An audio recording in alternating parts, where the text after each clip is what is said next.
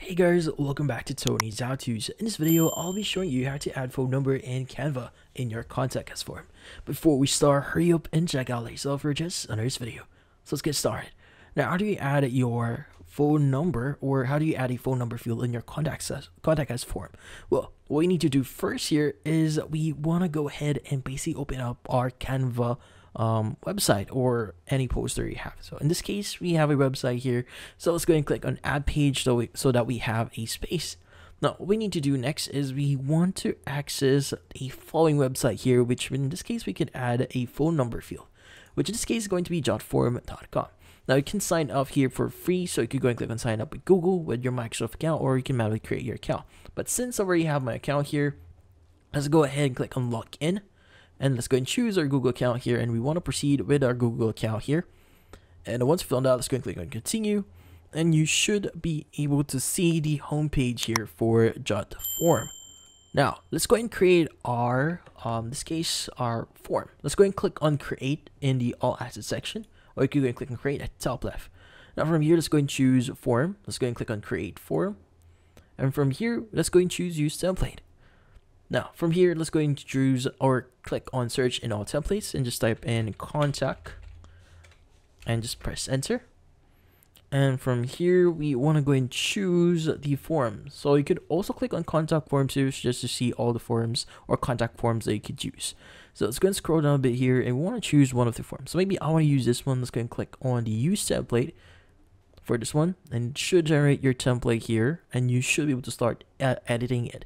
So as you can see right now, we can add the name section, the email, the phone number. So by the way, if you want to change a few things like properties, you can click properties. You can change the label alignment and a few things here. You could also go to options. So you could choose the country code here you want if you want to enable that.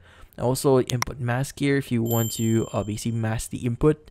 And if you want to go to advanced, you have your placeholder, hover text whenever a user hovers over it, and basically add if it's read only, shrink, or hide field if you want to hide it. But once you've done all the uh, the edits you want here, by the way, if you want to edit add a new element, you can click on add element at the top left here.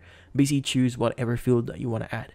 But since we already added or you uh, have our phone number here, well, in this case, if you don't have your phone number, you can add phone number. So if the default form that you have does not have that, go and add it manually. So once you've done that, what we need to do next is we now need to go to settings.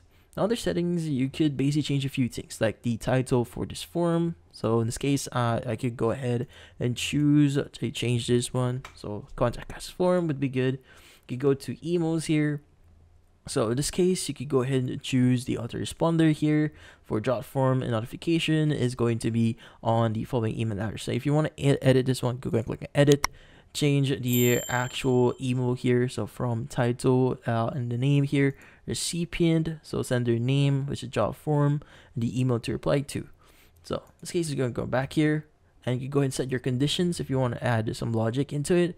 But once you've edited all the information here and edit all your pages you can go and click on the publish tab at the top right here and you can just basically start adding it into your website so in here, you want to go and click on copy link once you are in the direct link for your of your form here. Click on copy link. You want to go back into your Canva website and you want to go and click on text and just add a heading or any kind of text here. Now you can just type in whatever you want here. So I'm just going to just say contact and from here, let's go and highlight this. So press Control A to highlight everything or every text you have here. You want to choose or click on the link icon here. Now, let's go ahead and paste the link that we just copied and you just want to wait for a few seconds until you see it actually change. So it might be different, so you could go and press enter if it doesn't change immediately. And as you can see, we have enter link search, so the views are quite different. So you want to go to display mode here. Instead of link, you want to choose embed and start. it should start loading up our website as you can see right now. And as you can see, we now have a contact form. Now what you need to do next is you just need to click on the publish website here and from here, let's go and click or add our website URL. So let's just say this is going to be our uh, following uh, website or Canva website here. It's going to click on publish website. It's going to start preparing our design and once it's actually prepared, you can go ahead and start visiting it and viewing it. And basically we now have a phone number form or field on our contact us form. But in this case, that's about it. So, if you found this video hit the like and subscribe button and watch our next video.